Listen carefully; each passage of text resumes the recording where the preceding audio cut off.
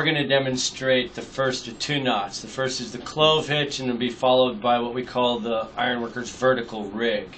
So to tie the clove hitch, you're going to go over the object and around it. It doesn't matter if you're left-handed or right-handed, you're going to cross over the top. You're going to keep that space because the the end of the rope is going to come through there. Pull it tight.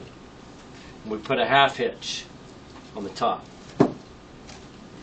Okay, that's the clove hitch. Continuing onto the vertical rig, we need to put two half hitches. In case this object's long and you're going to go up through a opening in a roof, you want to be able to pick it vertically and not have it slide out. So we tie two half hitches on the top. That's done by wrapping the rope around the object and coming through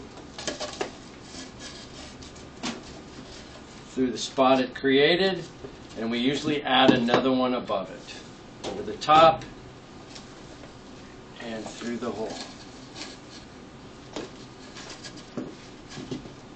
Ironworkers vertical rig.